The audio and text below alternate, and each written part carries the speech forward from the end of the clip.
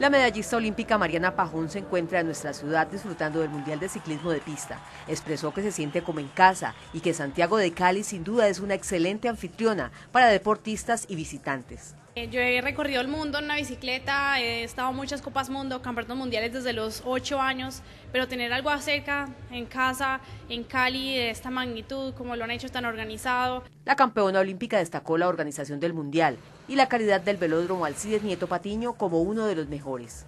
El velódromo está muy lindo y ver, ver esta, este evento gigante para el ciclismo mundial y tenerlo aquí en Cali es un orgullo inmenso.